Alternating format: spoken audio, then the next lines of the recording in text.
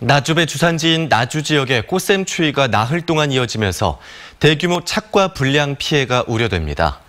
나주시 농업기술센터 등에 따르면 지난 3일에서 7일 사이 나주 지역 아침 기온이 영하권으로 떨어지면서 배 꽃봉오리가 얼어붙는 저온 피해 현상이 발생한 것으로 확인됐습니다. 배꽃이 저온 피해를 입을 경우 열매를 맺지 않거나 반륙 부진으로 기형이 발생할 가능성이 높아 수확기 배 상품성이 떨어질 것으로 우려됩니다. 농업기술센터는 배 생산 농가를 대상으로 피해 접수와 전수조사를 거쳐 구제 대책을 마련할 계획입니다.